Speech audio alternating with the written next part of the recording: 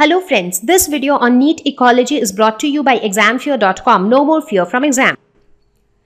Now let us quickly look at some of the adaptations of hydrophytes. Now what are hydrophytes? Hydro means water. So the plants which live in water. Now these hydrophytes can be of many different types. For example, some hydrophytes might be free floating that they that is they float on the surface of water. Some of them might be submerged where they are completely un underwater. So you know different types of hydrophytes exist. Now what we are going to look at right now is uh, how do they adapt to an environment where they have so much of water all around them. So let's quickly look at some of it.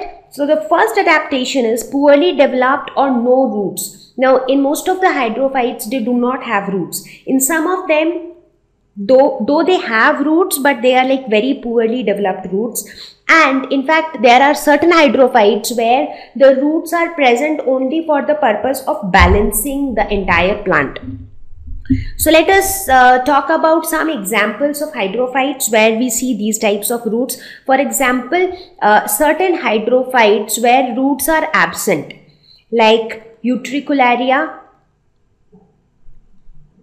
wolffia so these are examples where roots are absent. Now, examples of hydrophytes where roots are poorly developed. That would be Hydrilla, Vallisneria,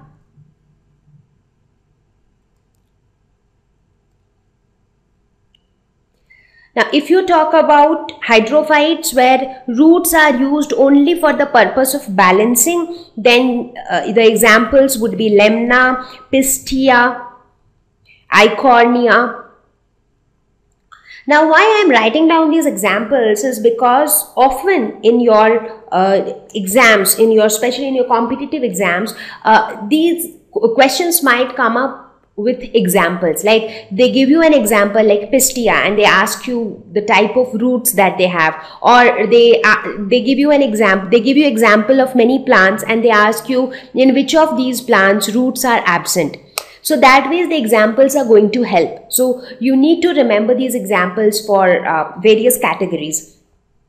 Now moving on to the next adaptation, they have poorly developed or no xylem. So again, xylem are the vascular tissues which are primarily needed for conduction of water and minerals. But in this case, the plants are adapted in such a way that they are already in water. So their vascular tissues are poorly developed. So many of the plants, they do not have xylem at all. For some of them, even they have it, they are very poorly developed. Hydrophytes have mucilage covering. So what is mucilage? So mucilage is like a viscous fluid or a viscous secretion. And why do they have mucilage? Because this viscous fluid on the surface of the plants help them to protect against pathogens and animals because it is a viscous kind of fluid. So if somebody tries to attack the plant, you know, it, it's very sticky. So that way it protects the plant from any kind of attacks. Presence of aerenchyma. So what is aerenchyma? Aerenchyma are specialized cells of parenchyma which are used for air storage. So they help in gaseous exchange. They also help in trans help to transport oxygen from the photosynthetic parts to the non-photosynthetic parts of the plants. So their main, so you can remember them as air storage parenchyma. So the name is similar to parenchyma. So air in parenchyma that's aerenchyma so they are for air storage and their one primary fun function is exchange of gases The next adaptation is thin, small and finely dissected submerged leaves whereas large waxy floating leaves. Now as I said that hydrophytes can be of many types. Some of them are floating, some of them are submerged. So different plants have different types of leaves. So for plants which have submerged leaves they are smaller in size they are also very thin and they are also dissected so that you know they kind of get submerged inside the water Whereas if you talk about the floating leaves, normally the floating leaves are quite large in size. At the same time, they have uh, a waxy layering on their surface.